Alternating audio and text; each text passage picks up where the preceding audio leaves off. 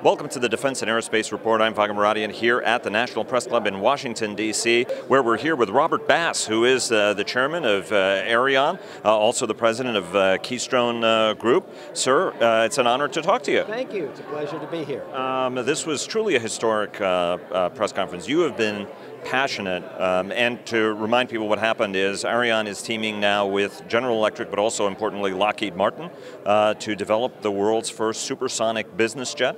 Uh, you guys have a very ambitious schedule, 2023 in terms of first flight, 2025 uh, in terms of certification, because this is going to be an entirely new type certification. Um, but this has been a passion of yours. You also hold sort of an engineering position uh, with, with the company. Uh, you know, you started in 2003.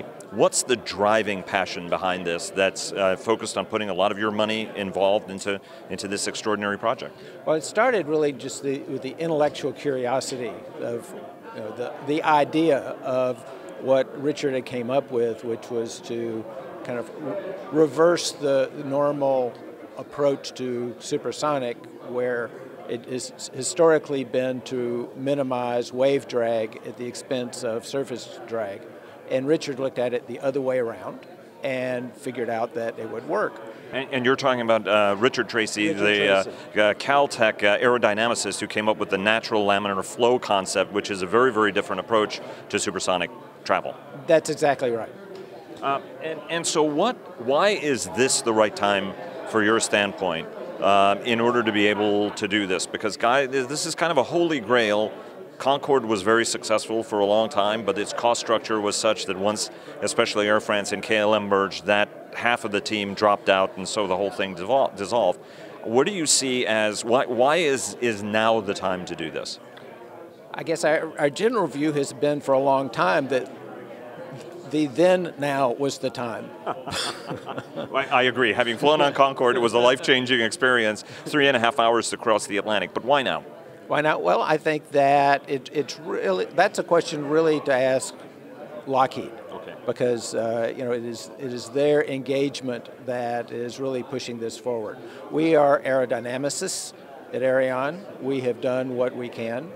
The um, the, the work that Airbus did was extremely valuable in terms of the internal systems uh, getting to work, figuring out to how to fold up the landing gear and not uh, impact drag after uh, with a right. with a stowed landing gear.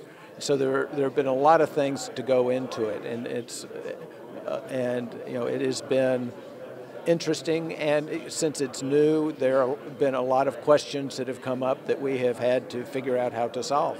Um, and uh, it was also very interesting listening to Brad Mottier of uh, General Electric talking about how they're going to use uh, an existing core, uh, but then put a low, new low pressure um, section on that in order to be able to deliver the power plant aircraft, uh, obviously powered by three engines. But you're also a, a, captain of industry, you're a businessman, and your drive is also to make money off of this project, not just change history in the world and have a really cool airplane you can fly around in.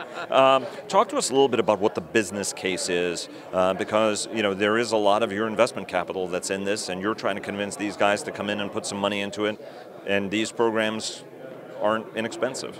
No, well, interestingly, there have been case studies going back into the 90s on the market for supersonic aircraft and, and business jet. And again, business. The reason it's a business jet is because of the uh, you know that they will, will pay a premium for for the speed.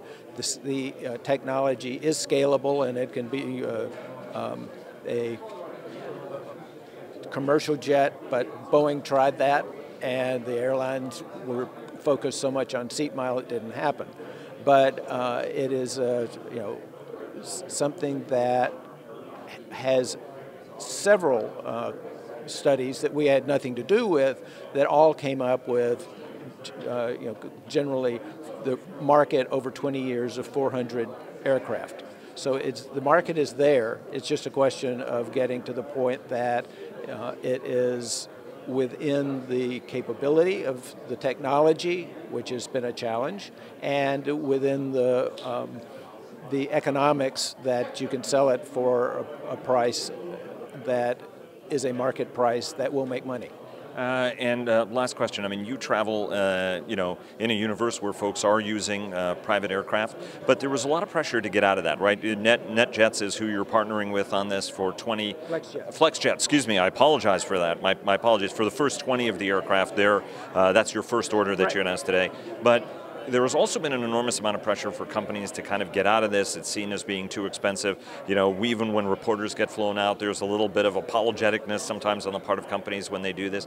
Even though if you look at it from uh, a lot of metrics, it is something that makes sense, especially if you're moving large numbers of people to certain places in the country, especially from a time perspective.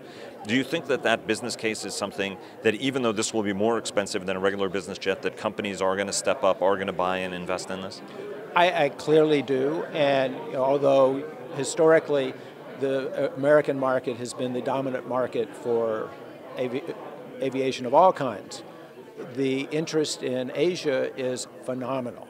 And if you look at recent um, purchases by of large business jets, Asia is, is really uh, coming on. And when you start looking at the city pair distances in Asia, they are vast and they are, this airplane is something that can shrink the time and really shrink Asia. And I think that there's going to be a large market there. And uh, what's the number on that market? How many aircraft do you see, both in commercial, but perhaps even government, as we heard? Um, there could be quite an attractive government market here as well. Well, as Brian said, 300 aircraft in, in the first 10 years. Uh, and I do think that there will be a large market in, in governments. I can certainly see the, that you know the the the principals will fly in an Aerion, and the entourage will follow along in an Airbus or a Boeing.